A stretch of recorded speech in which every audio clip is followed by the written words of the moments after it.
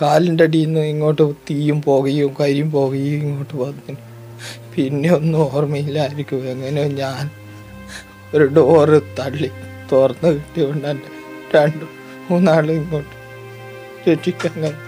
എന്റെ മക്കളെ രക്ഷിക്കാൻ കഴിയില്ല പ്രസവത്തിനായി ജില്ലാ ആശുപത്രിയിലേക്കുള്ള യാത്രക്കിടെ കാർ കത്തി യുവതിയും ഭർത്താവും വെന്തു മരിക്കാനിടയായ സംഭവത്തിൽ ദുരന്തത്തിൽപ്പെട്ട കാറിൽ സൂക്ഷിച്ചിരുന്നത് കുടിവെള്ളമാണെന്ന് മരിച്ച ഋഷിയുടെ അച്ഛൻ വിശ്വനാഥൻ.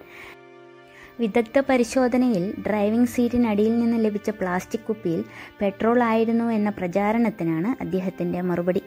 കഴിഞ്ഞ ദിവസം പാലക്കാട്ട് നിന്നും മടങ്ങുമ്പോൾ മാഹിയിൽ നിന്നും കാറിൽ ഇന്ധനം നിറച്ചിരുന്നുവെന്നും കുപ്പിയിൽ പെട്രോൾ കരുതേണ്ട കാര്യമില്ലെന്നും വിശ്വനാഥൻ പറഞ്ഞു.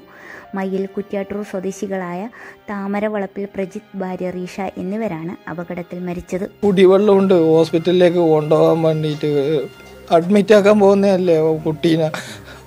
കുടിവെള്ളമെന്നുള്ളത് കയ്യിൽ രണ്ട് രണ്ട് മൂന്ന് ബോട്ടിലുണ്ട്.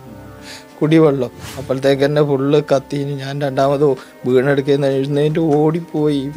ഗ്ലാസ് ഒരു ഗ്ലാസ് മോൾ ഇരുന്ന സൈഡിലെ ഗ്ലാസ് അടിച്ച് പൊട്ടിച്ച് ഞാൻ പൊട്ടിച്ചിട്ട് അപ്പോഴത്തേക്ക് എന്റെ മുഖത്തേക്ക് കരിയും പുകയും കാറിന്റെ പിറകുവശത്തെ ക്യാമറയും അതിന്റെ സിസ്റ്റവും അധികമായി ഘടിപ്പിച്ചത്. സ്റ്റിയറിംഗിന്റെ ഭാഗത്തു നിന്നുണ്ടായ പുക നിമിഷനേരം കൊണ്ട് കത്തിപ്പടരുകയായിരുന്നു. കാറിൽ നിന്നും എടുത്തു ചാടിയത് കൊണ്ടാണ് പിറകിലുണ്ടായിരുന്ന മൂന്ന് പേരെ രക്ഷിക്കാനായത്. റീഷ ഇരുന്ന ഭാഗത്തെ ചില്ല് തകർത്തെങ്കിലും രണ്ടുപേരെയും രക്ഷിക്കാനായില്ലെന്നും വിശ്വനാഥൻ പറഞ്ഞു. കണ്ണൂർ ഫയർ സ്റ്റേഷൻ കഴിഞ്ഞ് കുറച്ചു മുൻപോട്ട് എത്തിയപ്പോൾ എന്തോ മണം വരുന്നതായി പ്രജിത്ത് പറഞ്ഞു. വണ്ടി ഓഫ് ചെയ്തിട്ട് സൈഡാക്കാമെന്ന് ഞാൻ പറഞ്ഞപ്പോഴേക്കും സീറ്റിനടിയിൽ നിന്ന് തീ ആളിപ്പടർന്നു പിന്നെ ഒന്നും ഓർമ്മയില്ല. ഞാൻ ഒരു ഡോർ തള്ളി തുറന്ന് പുറത്തേക്ക് ചാടി. വണ്ടി കുറച്ചു ദൂരം നിയന്ത്രണമില്ലാതെ വളഞ്ഞു പുളഞ്ഞു മുന്നോട്ട് പോയി.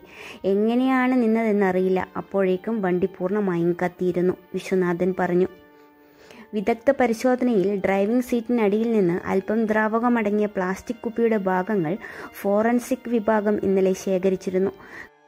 കാറിലെ പ്ലാസ്റ്റിക് ഭാഗങ്ങൾ ഇതിനു മീതെ ഉരുകി വീണിട്ടുമുണ്ട്. വ്യാഴാഴ്ചയും സമാനമായ അവശിഷ്ടം കാറിനകത്ത് നിന്ന് ശേഖരിച്ചിട്ടുണ്ട്.